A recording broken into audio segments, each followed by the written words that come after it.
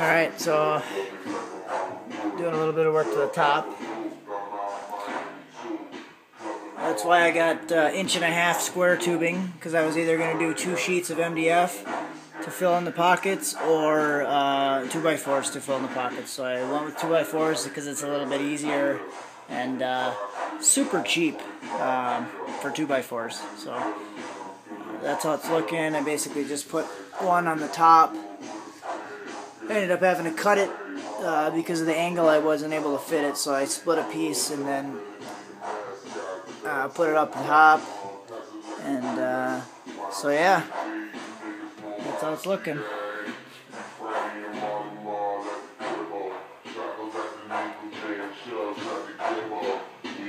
I'll come back to you after it's uh, done with all the 2x4s all the way around.